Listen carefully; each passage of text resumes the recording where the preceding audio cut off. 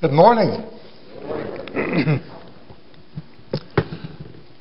this month we're talking about this God whom we serve, and we're looking at passages, especially from the Old Testament, that talk about the nature of God, the characteristics that describe Him and define Him. And as we look at these passages, we're gaining insights into why we serve God, why we believe in Him, and why we believe in Jesus. A couple of weeks ago, we looked at one of the great texts in the Bible, Exodus chapter 34, verses 8 and 9, uh, pardon me, verse 6 and 7, that talk about how God is a God of steadfast love. Last week, we looked at Psalm 68 that stress that our God is a God who protects the vulnerable. He is a father of the fatherless, a protector of widows and widowers, and the empowerer of women and men who announce his will to others. Today we're looking at Je- Jeremiah chapters 8 and 9, which give us insight into another side of God's character and who He is. We think of God as a God of justice. We think of God as a God of power, a great creative force, a God of love, even, a God who protects. But those of us who are parents, as we think about the nature of God, are we really surprised that, that God, our Father, is a God who suffers? Because we suffer on behalf of our children, do we not? We have dreams for them. We have asked, we have hopes.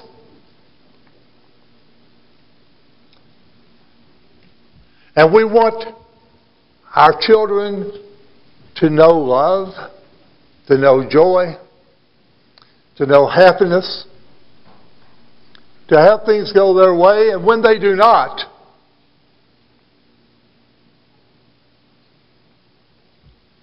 when someone insults our child, feels a little bit like they insulted us, doesn't it?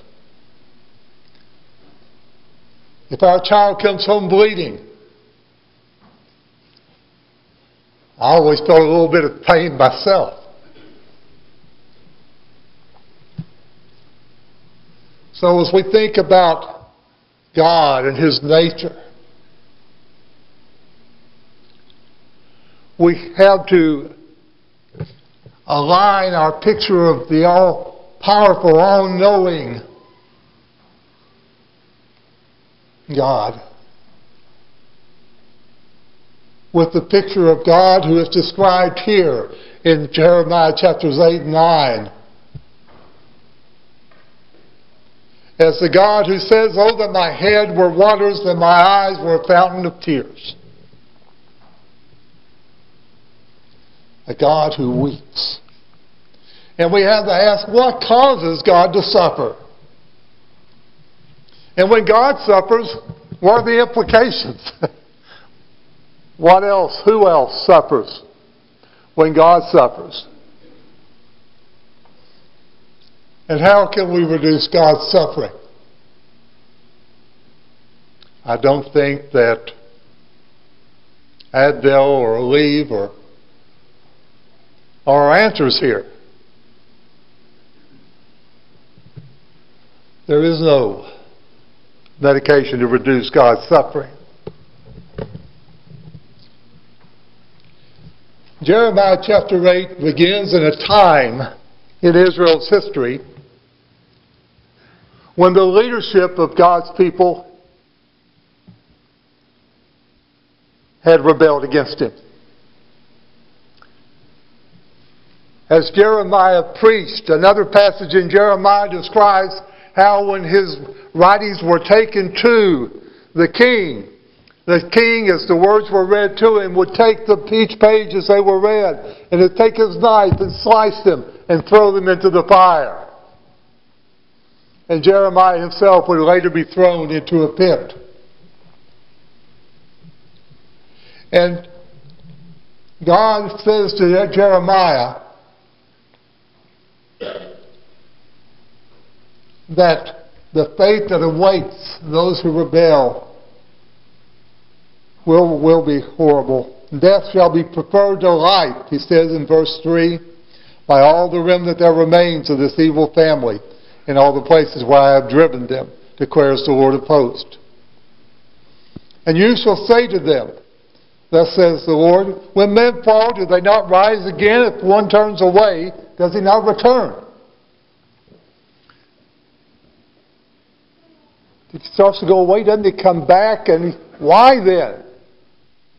The Lord asks, has this people turned away in perpetual backsliding? They hold fast to deceit. They refuse to return.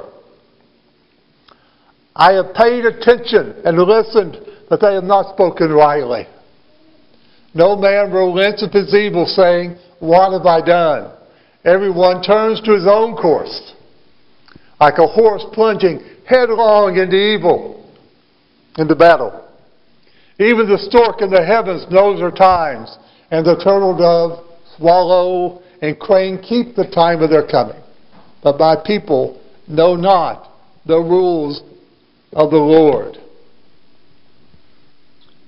as God describes his pride and, and his reaction to what's going on in his people's lives,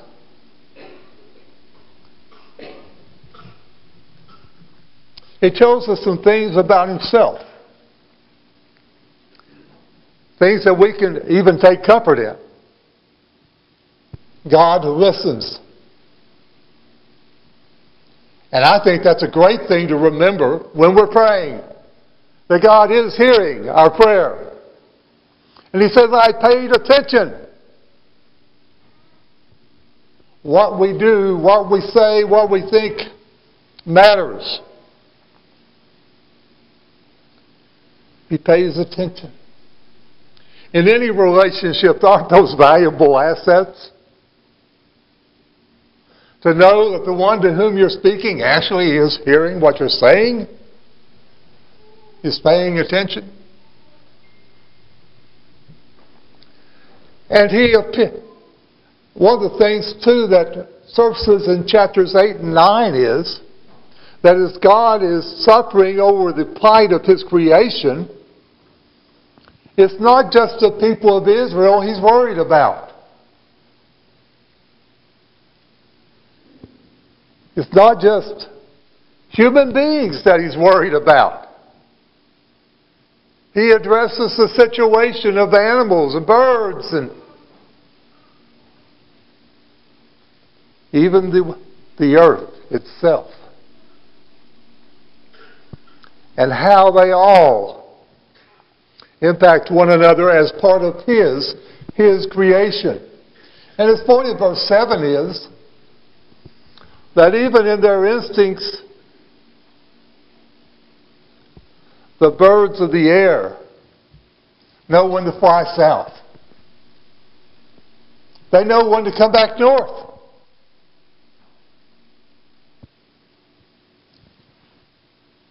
They know God's design for them. But these people, he says, do not know the rules of the Lord, do not know God's plan for them. When I would gather them, down in verse 13, he continues, there are no grapes on the vine nor figs on the fig tree. Even the leaves are withered. and what I gave them has passed away from them. Earlier, he has said that in their abominations, they were not at all ashamed. They didn't even know how to blush. Sometimes we talk about conscience in that way that you know a person's lost their conscience when, when they forget how to blush.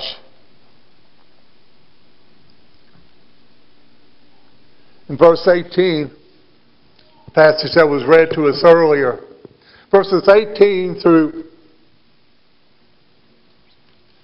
through 22 and it's really as you read through commentaries you'll see a difference of opinion about whether God's expressing his grief in these verses, as he obviously is in the first verses of chapter 9, or whether it's the prophet Jeremiah as the faithful servant of the Lord, who is agreeing and aligning his desire and his agony with, with, with, with God and saying, My joy is gone, grief is upon me, my heart is sick within me. Behold the cry of the daughter of my people from the length and breadth of the land. Is the Lord not in Zion? Is her king not in her? The people were crying. And then you have, if, if it were an answer from the Lord, why have they provoked me to anger with their carved images and with their foreign idols? And then an answer from the people. The harvest is past, the summer is ended, and we are not saved. Where, where is God? And he, and he answers,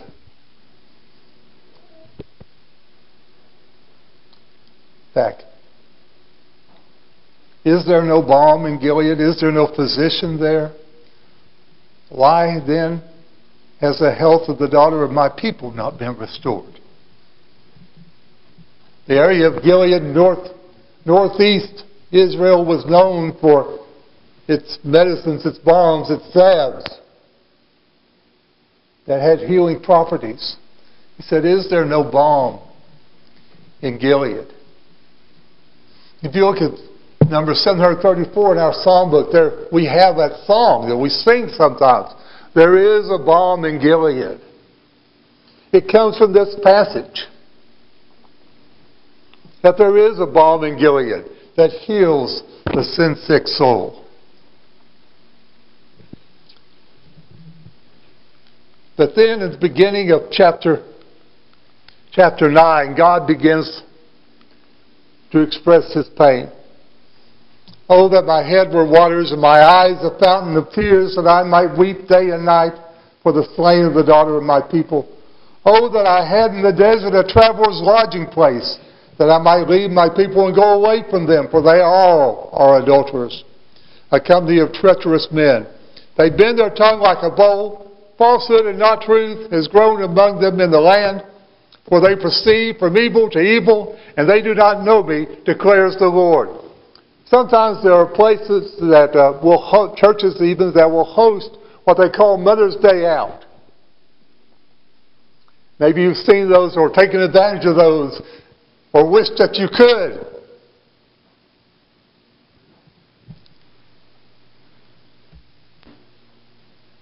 You needed a break as a parent. Do you ever think about this passage here? God wanting to take a vacation from you, from dealing with us. I need, I need some time here. The Lord says, the suffering is so intense. For they proceed from evil to evil, and they do not know me, declares the Lord.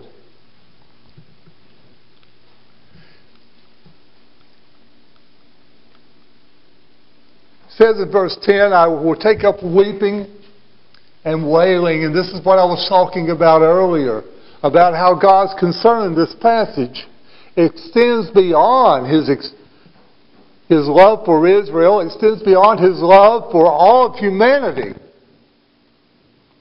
Even where he weeps and he wails for the mountains and the pastures of the wilderness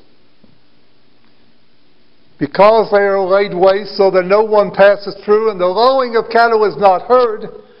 Both the birds of the air and the beasts have fled and are gone. And why? Why are they gone? He's, I will make Jerusalem a heap of ruins, a lair of jackals, And I will make the cities of Judah desolation without inhabitant. Now, 12 is the question I just asked. Who is the man so wise that he can understand this? To whom is the mouth of the Lord spoken that he may declare it? Why is the land ruined and laid waste like a wilderness so that no one passes through? And the Lord says that the reason that the landscape is barren, that the crops are not yielding, that, that the birds have disappeared, because they have forsaken my law that I set before, that set before them, and have not obeyed my voice or walked in accord with it. That have stubbornly followed their own heart and have gone after the Baals that their fathers taught them. Thus says the Lord, is the response. That begins down in verse 23. Our, our sin, our disobedience to God,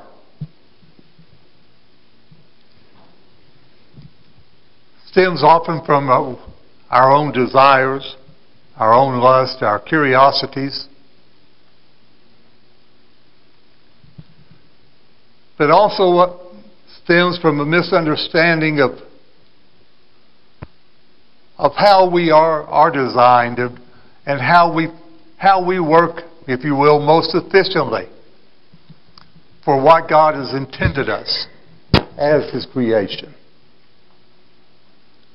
What God intends for you and for me to be.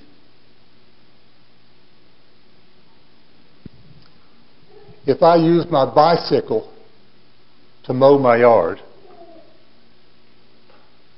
It's not going to work really well. If Tommy uses a fly swatter to change somebody's oil, it'll be, a, it'll be at best a mess. And when we live our lives in ways that are contrary to God's will for our lives, it's pretty much the same way as me trying to mow my yard with my bicycle or trying using that swatter to change oil. So what are we going to do? Thus says the Lord, beginning with verse 23 of chapter 9. Let not the wise man boast in his wisdom. And if, you, if you've studied 1 Corinthians, these words may sound a little familiar from chapter 1 of 1 Corinthians. Let not the wise man boast in his wisdom, let not the mighty man boast in his might, let not the rich man boast in his riches. Got three categories there, don't you? But let him who boasts boast in this, that he understands and knows me, that I am the Lord that practices steadfast love, justice, and righteousness in the earth. For in these things I delight. He says, I am the Lord who practices steadfast love, justice, and righteousness in the earth. And remember what Exodus 34, verses 6 and 7 said. The Lord defines himself, the Lord, the Lord, a God merciful and gracious, slow to anger and abounding in steadfast love and faithfulness, keeping steadfast love for thousands forgiving iniquity and transgression and sin, but who will by no means clear the guilty, visiting the iniquity of the fathers on the children and the children's children to the third and the fourth generation. God is a God of steadfast love, but He's also a God of justice. And as we've seen this morning, He is a God who suffers when His people do not do not go in the right way. Justice says in verse 25 and following, Behold, the days are coming, declares the Lord, when I will punish those who are circumcised merely in the flesh. Egypt, Judah, Edom, the sons of Ammon, Moab, and all who dwell in the desert, who cut the corners of their hair, for all these nations are uncircumcised, and all the house of Israel is uncircumcised in heart. We look in Colossians, in the New Testament, Colossians chapter 2. God says in Jeremiah chapter 9 that Israel's problem is they may be circumcised physically, but they're not circumcised in their heart, in their thinking. So Paul writes, Therefore, as you receive Christ Jesus the Lord, so walk in him, rooted and built up in him and established in the faith, just as you were taught, abounding in thanksgiving. In him also you were circumcised, with a circumcision made without hands, by putting off the body of the flesh, by the circumcision of Christ, having been buried with him in baptism, in which you were also raised with him through faith in the powerful working of God, who raised him from the dead. An analogy might be to say that if you dunk someone in a swimming pool, they've not been baptized necessarily. They probably just got wet. But if you dunked them of the water, before you dunked them of the water, they had resolved that they were going to turn away from sin, that they were going to cut it out of their lives, that they were going to follow God's will and, the, and Jesus' commands with intensity and with intention. Yes, you were baptizing them when you plunged them beneath the water. Just as, and when they came back up, they were raised into a new life, receiving the Spirit of the Lord, just as Christ was raised from the dead. So, what we gain from this description of God's suffering, which is so intense that He he talks of mourning, of weeping, of almost wanting a vacation from his people, is that God listens and he pays attention to us. That he weeps and he suffers when we hurt ourselves. And when in hurting ourselves, we also hurt not only ourselves, but the rest of his creation through the impact of our actions. And that God He notes later back in chapter 8 God wants to harvest good fruit from His people. Some of us have been studying the book of Galatians on Monday night. And this next week we'll get more into the kind of fruit that God wants to harvest love, joy, peace, things like that. God wants to harvest good fruit from His people. Yes. When we do not live as we are designed to live, our Creator suffers. So our question is will we cut sin from our lives? Will we, as is put in Jeremiah 9 and Colossians 2, circumcise our hearts? will you and will I follow the Lord with all our heart, with all our mind, with all our souls? If you need to obey the Lord today, if you need to reconcile yourself to the Savior from whom you have turned away by asking the rest of His people to pray for you, or if you need to identify yourself with the Lord by being baptized into the name of His Son today for the forgiveness of your sins. Please,